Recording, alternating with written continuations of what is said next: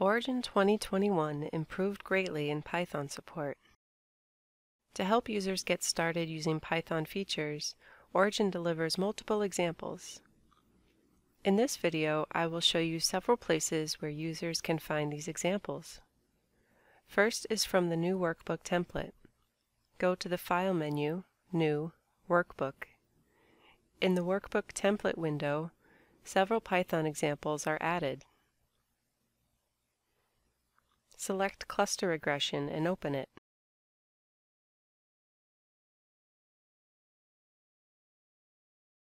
Right-click on the Python Code button and go to the Programming tab in the pop-up dialog. Here you can check the Python script.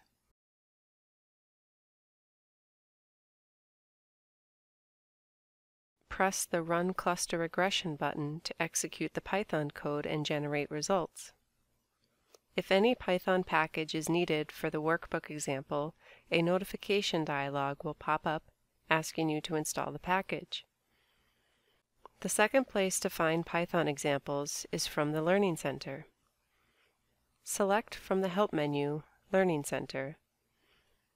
Under Analysis Samples, a new category, Python, is added, and multiple Python examples are included under this category. Let's select Logistic Regression and open it. you can press the Install Required Package button to install necessary packages. To show the Python script in the Code Builder window, press the Show Code button.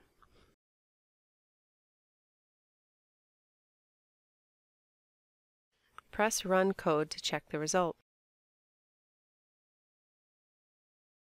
We also have several examples under the Sample folder. Select from the Help menu, Open Sample folder.